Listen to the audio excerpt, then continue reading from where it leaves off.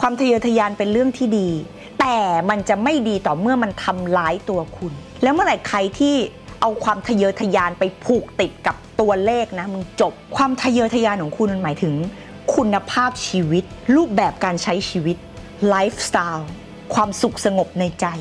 ความอุดมสมบูรณ์ของคนในครอบครัว ความรักคนที่ทะเยอทะยานแล้วประสบความสำเร็จคือ ทะเยอทะยานแล้วเขาเห็นภาพสุดท้ายไม่ใช่จำนวนเงิน แต่เห็นพ่อแม่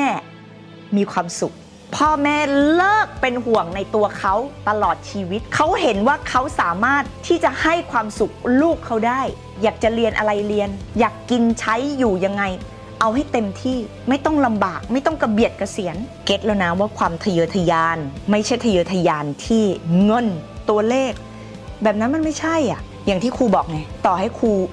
รวย แต่ถ้าครูบอกกูไม่พอ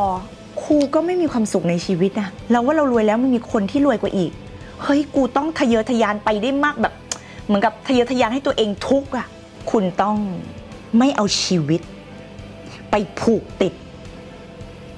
กับจำนวนเงิน